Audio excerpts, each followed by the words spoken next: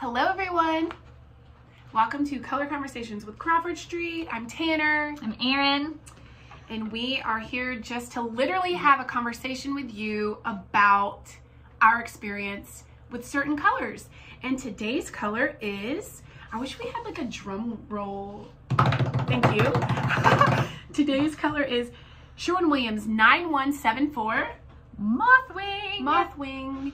Um, Mothwing is a light brown grayish. mm-hmm. Um, its LRV is 29.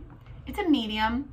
Um, it's it is a great wood pairing tone Mhm. if you're trying to pull in a wood Mm-hmm. or even um, a brick or a mortar. Yep. But when you need it to go up a notch, you know, like I, I want that to get the feeling of wood and the feeling of something natural, but Remain rich on its own. yes, but still right, be be elegant enough. Mhm. So it is definitely elegant, and also the great thing about it is, I mean, it appears brown, Mm-hmm.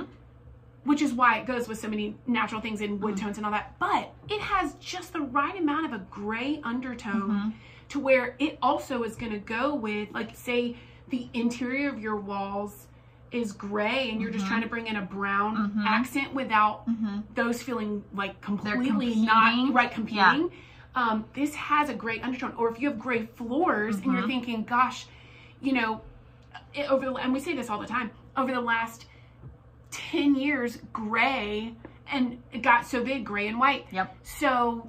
You know, if you're at that point where you're like, okay, my floors were gray, my cabinets were gray, and, and my trim Everything's is gray, gray. everything's gray, I need some warmth. I need some warmth. This is Uh-huh. a great way to pull in Mm-hmm. a, a marrying color so that then you can get more wood tones, more brown browns that'll Mm-hmm. kind of satisfy that that warmth, that need for the warmth in there. But this is going to be a great stepping stone to to introduce a lot of warmth. Yes, So this is this would be great on trim. Mm-hmm. Like if you just have um you know white walls and this trim, it's still going to look great Yeah. with gray floors. Yep. Um and again, it's not gonna, especially if it's on something like trim, which, has a lot of texture. Yep, You know, it's not yep. a solid surface Dimension. dimension. Mhm, mhm. Yeah, it's really gonna go. Is it gray? Is it brown? Is it Mm-hmm. wood? What is that? You know. So it's a it's a beautiful trim color, interior and, exterior. exterior. Yep, we've seen both, and then also it's a beautiful cabinet color. Yes. Um, yes. So say you have grayish countertops, but maybe you you have um, gold veining or gold fixtures, Yep. and you want a grayish brown to bring in your lower cabinetry or something. It's a great, great. Oh, it's so, it's just so. I don't know. Luxe is the word I'm thinking of, but It's a welcoming color. it is a welcoming color Mhm. and it's stylish. Mhm. Like if you use this color, it is timeless, but it's Mhm. like I intentionally used Yep. this color um you know because it's not seen everywhere. It's not tan tan, it's not super brown, It and is it's a not gray. true grayish. It is a true grayish. Which, if you don't know what that means, it's a gray married with a beige. Right. Grayish. It's it's all the rage. it is all the rage and it's a great but let's say this for somebody who is wanting to be more timeless and is afraid of I don't want to go trendy anymore. Mm-hmm. Yep. Um or you know, I'm, I'm that's not what I'm going for. This is super timeless. Like we said, it's gonna pull with all kinds of warm Every color. wood tones, but Mhm. also a lot of cool. So if you still Mm-hmm. have gray undertones in your cabinets or your floors or your countertops or whatever, this is still going to play really nice with that. Mm-hmm. Um, as um, like we said, if you have exteriors that have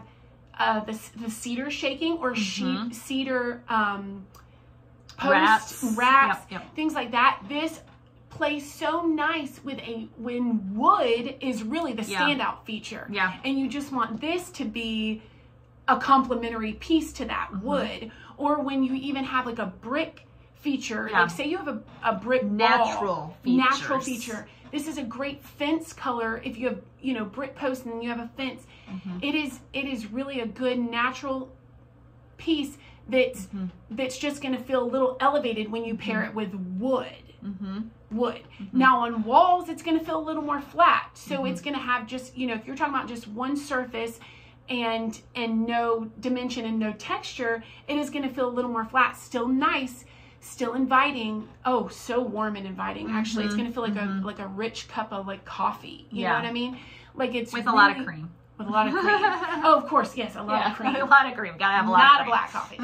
um, but like it's it's going to to feel not as Mhm. natural. It's going to Mhm. feel more just warm. hmm Um, you know, but but when it's paired on a trim or on shutters or on a fence or Mhm. on the siding of a house or whatever, it's really gonna gonna give the appearance of it being in the wood family somehow. yeah. It- it- it is a paint color that reflects tones of wood, and and and and I don't want to like narrow it down to this, but the ashy wood hmm that's really in right Mhm. now, and that more blonde wood and that whitewashed wood, hmm that is also oh.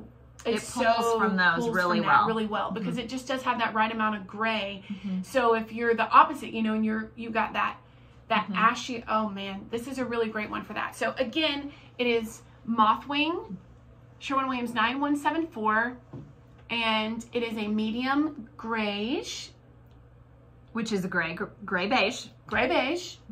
and it's it a great place to a- start. good complementing neutral color Yep. that is elevated above just like a beige Right. wall or So when you think about what does your project space need, does it need something that is going to be highlighted? Does Mm-hmm. it need something that needs to have some depth? Do you need to bring two things together? Does something need some warmth? You know, and and you know, if your component is wood.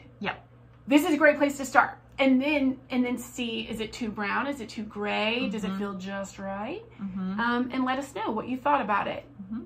And That- highly recommend getting some samples like this and putting them in your room so you can see how the lighting deals with Yep. them and how the the actual color of the paint will take on other colors around it, um, the supporting colors that you're using. Absolutely. We always tell our clients, um, you know, we'll send out big, even bigger than this samples.